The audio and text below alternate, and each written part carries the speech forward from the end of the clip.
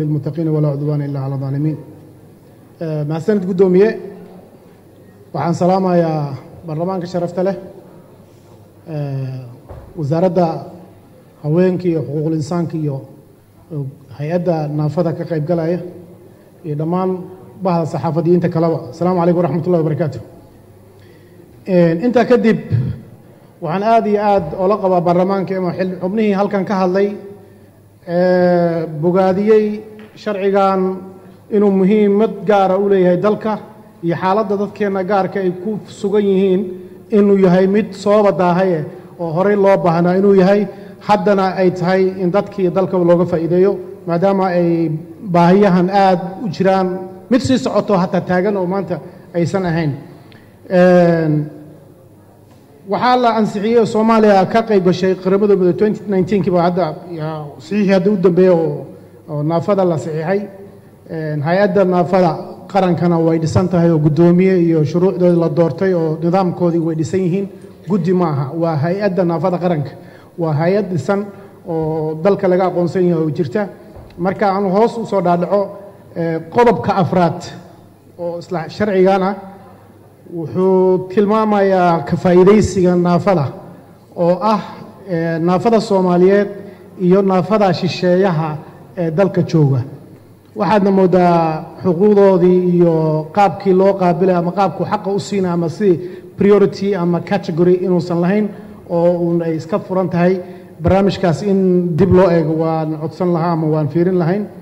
Qodobka oo toddobaad oo isla naafada ah ka qaybgalka siyaasadda.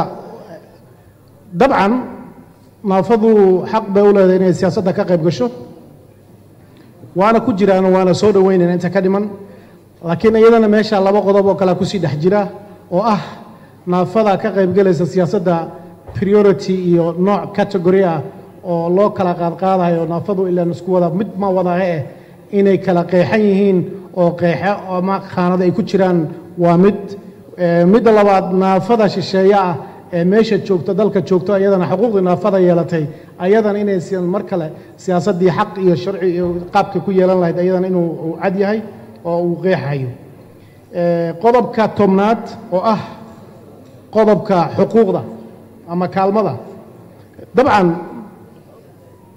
kaalmada naafada markii la yihahdo way fara badanta naafadii mid baa maskaxda iyo dareenkii ah mid baa curyaan indhaha waxba ka arkin mid baa lugaha waxba ka arkin mid baa gacmo iyo luguhiiba labaduba go-on yihiin oo laga yaabo qof miiska saaran inuu yahay. Qof baa qof reer sabool oo waxbaba haysan oo besin u yaalla ku dhashay mid baa reerkoodii oo ehelkiisii dhaqaale leeyahay oo ilmihiisii wixiisii keertakar fiican siin kara.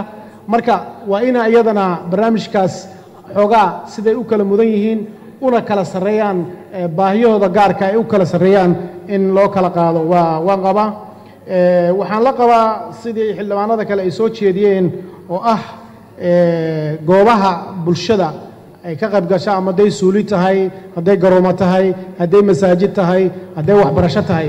Dabcan taas waxaa soo dhexgelaysa waa dhaqaalaha. Dhaqaalaha loo qoondeeyo ayay meeshaa taabanaysaa. Dhaqaalaha hadda ugu jira miisaaniyadda aad bay u yar tahay hay'adda naafada dhaqaalaha hadda ugu jira bajetka waan arkay. Aad iyo aad bay u yar tahay. Mid ku filan maaha innagana laga rabaa baarlamaan ahaan inaan dhahno hay'adda naafada. Soomaaliya hadda estimationkii u dambeey rafli wuxuu ahaa dee waad garan karteen graafka siduu u sii socdo. Maal walbo mid baa miina ku dhacdaa mid baa dhib ku dhaca. Saas darteed dhaqaalaha loo qoondeeyey hadda miisaaniyadda ku jiro waa aad buu u yaryahay. Sidaasaana keenaysaa in baahiyahoodii dhammaystireed in meelihii loogu talagalay oo dhan dhammaan aysan laga dabooli karin oo ama heer gobol ha noqoto ama heer tuul ama heer degmaba ha noqotee marka barnaamijka ayadaa in dib loo soo geliyo oo miisaaniyadda dambe wasaaraddana ay dadaasho baarlamaankana uu abdate ahaado oo arrinta ayada uu feejignaan gooni ah miisaaniyadda ayada loo siiyo iyo mudnaan gooni ah hay'adda ayada ah waan waan soo jeedinayaa waxba yaan hadalka ku badin asalaamu calaykum waraxmat ullahi wabarakaatu